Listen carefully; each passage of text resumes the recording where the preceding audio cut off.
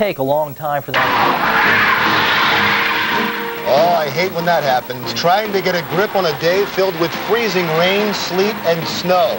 Another winter storm causes problems all over the News 10 viewing area, and we'll take you there with live team coverage. And in Washington, senators at this hour are hearing opening arguments in the impeachment trial of President Bill Clinton. We have live coverage coming up. Good afternoon. I'm Renee Chenault. And I'm Larry Mendte. All this, plus we could get a verdict in the Tom Capano murder trial at any time. It is a very big news day. But our top story on News 10 first at 4, the ice storm that has created some potentially dangerous conditions across the entire tri-state area. We begin in Narberth, Montgomery County, where icy conditions prevailed this morning.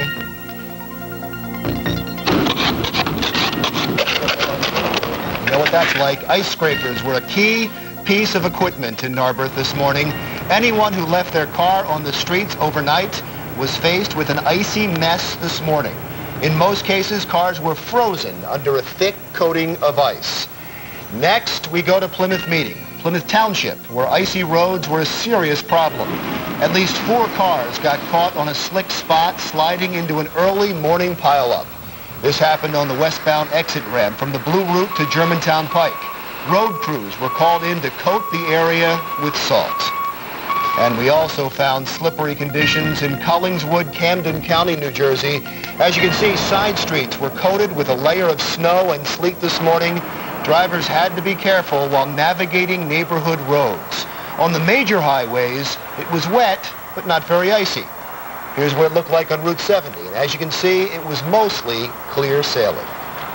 And the messy weather isn't over yet, believe it or not. Yeah, sorry to say. Let's get the latest from John Bolaris. John? Yeah, Larry, icy and dicey right through your evening rush as temperatures still remain way below the freezing mark in and around the city. The only exception would be extreme southern Jersey, central Delaware. Above the freezing mark there, they're getting some liquid, just some plain rain. Let's check it out. We have winter weather advisories still for the city point south and east for that icy mix. Winter storm warning north and west for snow and ice that will continue right through midnight. Radar, Doppler picking up the green indicating sleet and freezing rain, especially to the north and west. Doylestown looks like a heavy band moving through there right now as we speak. So for your evening rush, we're anticipating the icy mix to continue from Wilmington to Hamilton to Lakehurst to Philly to Cherry Hill to Trenton to Doylestown to Reading to Allentown to the Poconos that icy mix will be with us. The only exception from Millville to Atlantic City to Dover, just plain rain there. I'll be back in just a little bit and let you know when that plain rain line will move into your neighborhood in just a few minutes. Renee? All right, and as John just told us, the evening rush is the big concern here. So let's get a check on how area traffic's doing right now. Mark Davies is live in the News 10 Metro Traffic Center. Mark? Guys, for the most part, the day hasn't been bad. We're starting to see some volume again. Plus, the roads that were wet are now kind of seeing an accumulation of the sleet, which amounts to some slushy spots. So expect delays, especially in the boulevard between the Schuylkill and Broad. Otherwise, not too bad. Look at 95 by Cottman. North and southbound traffic here, a little bit sluggish, but nobody's going to wait too long on 95 out of the city. Same thing in Delaware County by 320. Both north and southbound are pretty much checking out okay. We did have an accident reported 95 in South Philly by Packer Avenue, but so far nothing turning up. The Schuylkill at Conshohocken, east and westbound looks pretty good. You see a state police car sitting there actually in the turnaround on the on-ramp to eastbound 76. And finally, the Ben Franklin Bridge. Some slow going here across the bridge because they just had some salt crews move across the bridge. Some generally slow going. Camden bound into Philadelphia, those not a problem. Keep in mind the Jersey Turnpike, a motorcycle and trailer ban in effect for the length and also a 45 mile per hour speed restriction, plus the same thing, a 25 mile per hour speed restriction at the Delaware Memorial Bridge. In the News 10 Metro Traffic Center, I'm Mark Davies for News 10. Mark, we'll keep checking back with you. I'll be here. Well, News 10 has live team coverage from the areas most affected by this ice storm. The Lehigh Valley could get most of the ice, as well as the resulting problems. We start in Allentown. News 10's Alicia Taylor is live with the very latest. Alicia, what are conditions like right now out there? Well, Renee, it is absolutely freezing here in Allentown. You know, for most of the day, a light snow fell, but right now it's sleeting. It was so cold in Allentown today, Anna Salazar went out and bought a brand new ice scraper for her car. But she didn't buy just any old scraper. It's an electric um, ice scraper. Does it work? Yes. They told me taking it out. Yeah, it's, it's good. I'm getting me one for my husband, too. Everywhere you turn, people were trying their best to stay warm. To the delight of most kids, all schools were closed for the day. You like having no school? Yeah. You like this weather? Yeah, it's rough. Why? because Because what? because it's snow. Yeah. And while the kids enjoyed the light snow, it was an inconvenience to many parents. The daycares are closed too. That's why they were with me. I had to take them to work. But the daycares are closed. But the frigid temperature was the hardest on the people who had to work in it. Is this like the worst job on a day like today? Oh, yes. Everybody orders everything. From french fries to calzones. It's a nightmare in this weather. Now, for the most part, city crews are clearing the streets off, but take a look down here. The side streets, a lot of side streets in Allentown are just blanketed with snow. You see the snow here. And again, remember, it is about 8 degrees here right now in Allentown. We'll have that story for you tonight at 5. Reporting live from Allentown, I'm Alicia Taylor, News 10. No wonder you're cold out there. Eight degrees. You need another layer on. Yeah, I do. All right, try and just wants stay to get warm. going. Yeah, right. I- uh, I'm sorry, back to the Alicia. See you later. It is much the same story in Montgomery County where the ice storm could turn many area roads into skating rinks. News 10 live right now in Harleysville. News 10's Barbara Monaco joins us live with the latest from there. Barbara. Larry, much the same, but fortunately, according to the sign at the bank behind me, it's 18 degrees here, 18 degrees and sleeting. But the question that we asked is, what's a parent to do when the schools are closed? They have to call babysitters, friends, relatives, and in some cases, take the kids with them to work. 11-year-old Jessica Louie isn't in school. She's enlarging photos at her uncle's photo shop. When class was canceled for the sixth grade Colonial Middle School student, her parents had an alternative. Send her to work with Uncle Scott. They said that I could come up to work, help out, and I was very happy. Instead of just staying home, watching TV and playing around, she actually can work and, you know, learn stuff in here. Pharmacy technician Kim Asbury had to come to work. And until she found someone to care for him, so did her nine-year-old son, Matthew. I actually put him to work organizing some papers for me, and and he just bustled around, cleaned up the store for the girls up front, and kind of occupied himself till he could get home again. But many other parents didn't have an option. Faced with children out of school, they decided they had to stay home. That's where Levon Gifford was, playing with two-and-a-half-year-old Alyssa, while six-year-old Trey played video games. How'd she manage that? Well, because I have a great boss.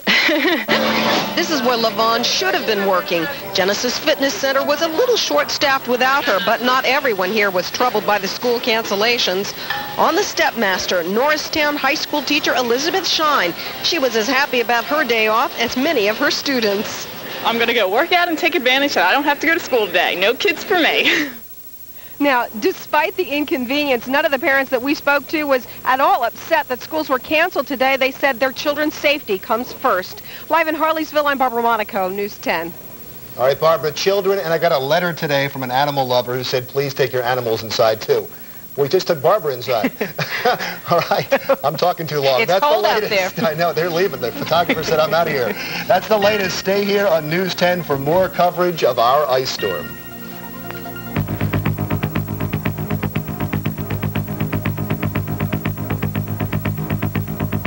For the first time in 130 years, a U.S. president is on trial facing impeachment.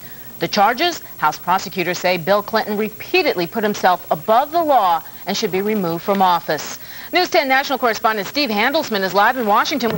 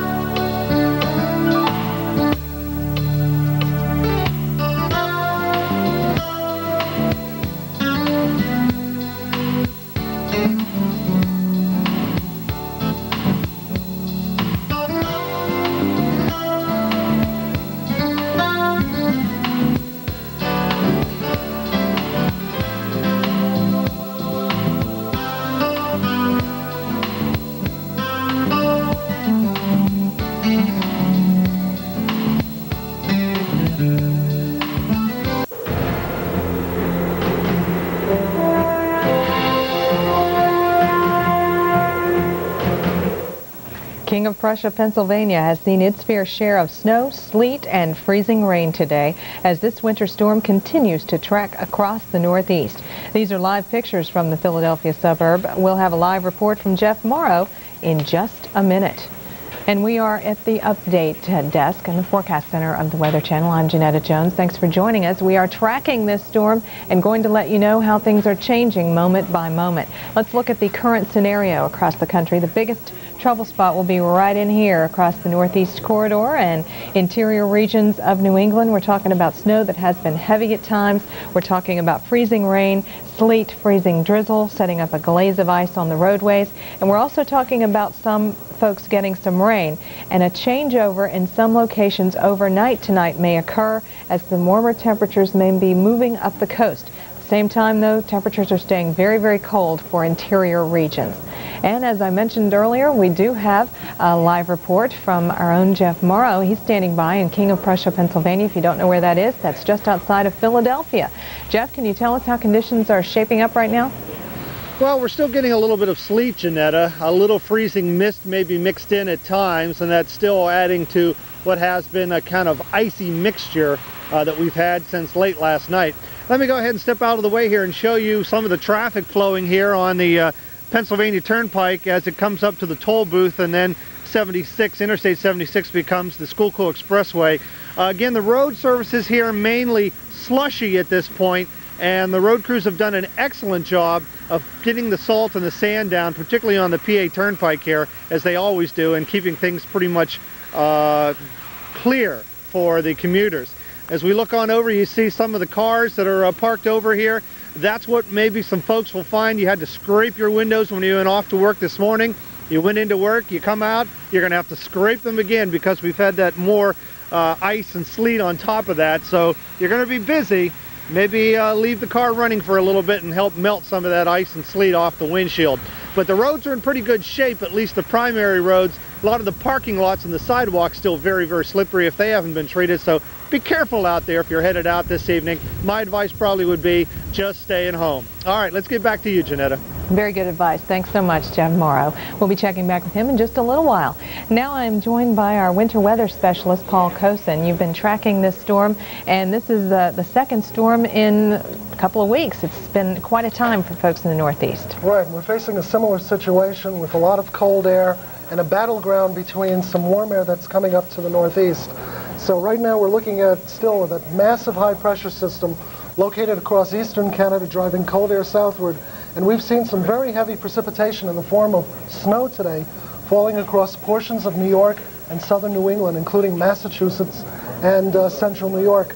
Uh, Binghamton has reported 9 inches of snow, all with temperatures below 10 degrees, and we're also seeing the development of rather heavy snowfall across the central Finger Lakes region of New York into the Catskills up around Albany, where temperatures are only a little bit above zero degrees. Hmm, so a very cold day out there, and it's going to get even colder overnight tonight well, it's going to, the temperatures are going to remain at very cold levels, certainly cold enough levels for snow. We're seeing over at Boston that even through much of east, eastern and western Massachusetts, conditions now for moderate to heavy snow are excellent for the next couple of hours. And how much snow will they pick up before things start to change? Well, right now we're calling for three to six additional inches, and most of that area later tonight should probably changing over to freezing rain and sleet, but not yet. Now, as we move into Pennsylvania, it's a little different story. In Pennsylvania, we're seeing warming at the higher levels of the atmosphere. So much of the precipitation that's falling there is coming down in, in freezing rain or sleet. And uh, that precipitation is redeveloping. It's probably not quite as heavy that's going on in New York and New England right now. Okay. want to talk about those temperatures, as you mentioned, brutally cold stuff. 9 below currently in Burlington, 19 in New York City but it feels like it's 15 below. At Islip, you're looking at sleet and snow, freezing drizzle at JFK, and some snow in LaGuardia. Look at those wind chills. 27 below is what it feels like in Rochester. Feels like 3 below in Minneapolis, feels like 2 below in Flint, Michigan, and the actual temperature is not much better. It's 9 right now. It's 13 in Minneapolis. As we look at the precipitation coming into play across the Ohio Valley, we can tell you about some rain in Lexington, some snow in Louisville, Kentucky. What we're seeing here are the beginnings of the next storm system of this current, or the next and last of this current pattern. So we're seeing uh, low pressure that's developing over the mid-Ohio Valley, but we will be seeing a secondary low develop further east along the coastline probably over the Carolinas, and that should be heading northeastward up along the eastern seaboard, seaboard later tonight and throughout tomorrow. So tonight and into tomorrow morning, what can we expect for New York City, Philadelphia, Boston? Okay, that secondary area of precipitation will begin to expand northeastward. They haven't seen all that much lately, but we'll see a redevelopment of the precipitation in terms of freezing rain and sleet tonight. Washington, Baltimore, Philadelphia, and New York. In Boston, they'll probably start out again as snow, but change over to freezing rain, and then all of the major cities will probably experience a brief change over to, to rain towards the end of the storm sometime during the day tomorrow. Mm, a very complicated system, and I know you're going to stay on top of things for yes. us. Thank you so much, Paul Kocin. If you are going to be away from your television set, never fear, we're right there on the internet at weather.com. Their time, though.